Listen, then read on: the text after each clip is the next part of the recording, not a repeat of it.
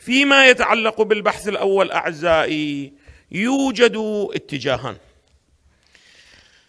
الاتجاه الأول الذي وجد في المقام هو الاتجاه الذي يرى أن الحوادث كما أن الألف واللام في الخمس بقرينة السؤال عهدية كذلك الألف واللام في الحوادث بقرينة السؤال أيضا ماذا؟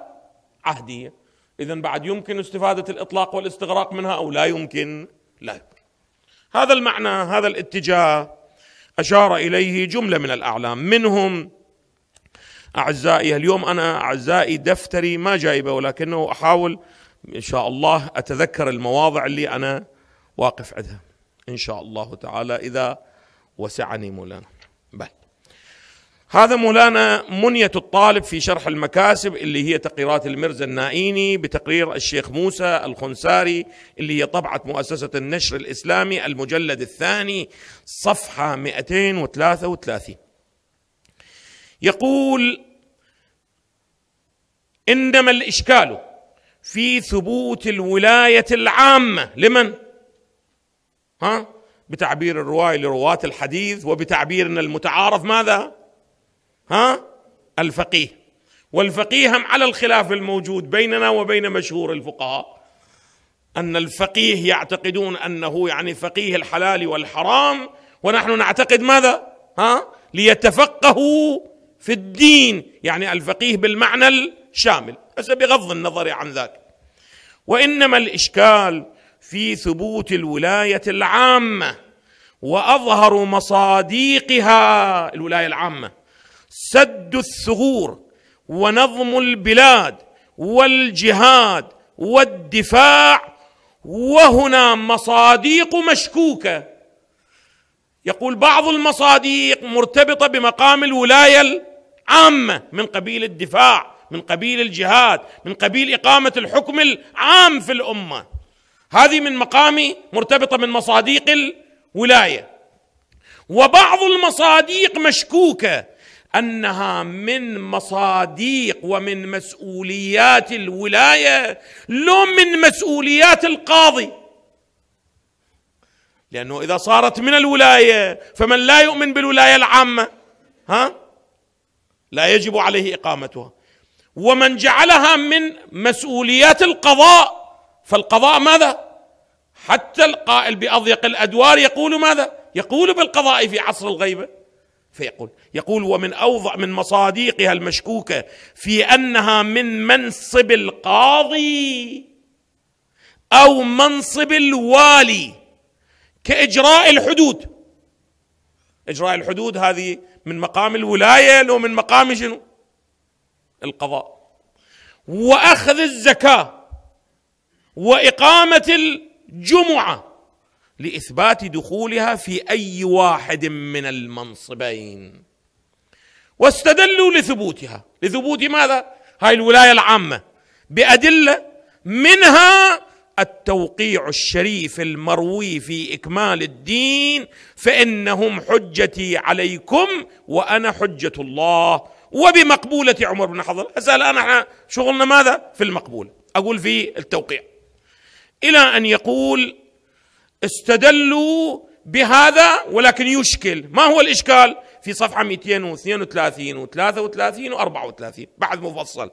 يقول فلأن السؤال غير معلوم فلعل المراد من الحوادث هي الحوادث المعهودة بين الإمام والسائل.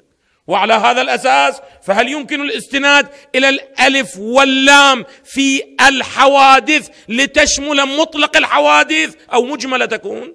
تكون مجمله هذا مورد أعزائي.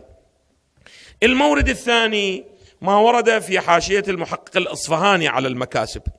تعلمون بأن هذه كل من عرض عند حاشية أو شرح للمكاسب عرض المسألة ولاية الفقيه. يقول بتقريب بعد أن ينقل ويقول ومنها قوله في التوقيع الرفيع وأما الحوادث هذه كلها علامة على أن هؤلاء كانوا يقولون أن من المسلمات ماذا؟ صدور هذا التوقيع من الإمام عليه أفضل الصلاة والسلام. يقول بتقريب أن عموم الحوادث لكونها جمعا محلى باللام يقتضي أن يكون الفقيه لأنهم فسروا راوي الحديث بماذا؟ بالفقيه مرجعا في كل حادثة يرجع فيها الرعية إلى رئيسهم. واقعا الآن في المجتمعات العقلائية الرعية يرجعون إلى رؤوسهم إلى رؤسائهم في ماذا؟ في كل شيء. في الأحكام في الموضوعات في القضاء في حفظ الثغور في كل شيء. ولكنه في صفحة هذه صفحة 388 أعزائي من هذه الطبعة اللي هي آه، طبعه ما أدري منو طابعها هذه. بالي. بالي. اللي هي الناشر أنوار أنوار الهدى أعزائي. الجزء الثاني في صفحة 388 يقول والجواب أن الجمع المحلى باللام إنما يفيد العموم حيث لا عهد. ولم يعلم أن المسؤول عنه أي شيء عبر عنه بالحوادث فكيف يؤخذ فيها بالعموم ويحتمل إلى آخره؟ في قبال هذا الاتجاه أعزائي فقط أشير إلى الاتجاه الثاني. في قبال هذا الاتجاه وتستغربون الحق والإنصاف.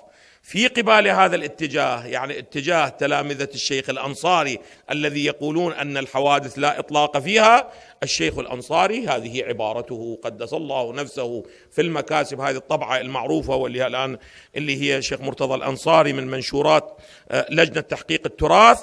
يقول فإن المراد بالحوادث ظاهرا مطلق الأمور. هذا اللي هي يقولون شيخ الأنصاري ما قائل ما قائل ما قائل ما قائل. التفتوا أعزائي. مراد ماذا؟ مطلق الأمور. التي يا أمور مولانا بينها. التي لا بد من الرجوع فيها. التفتوا التفتوا إلى العبارات الثلاثة.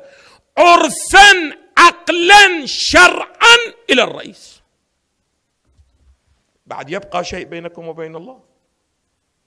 أكو بعد فد ولايه عامة أكثر من هذه الولاية.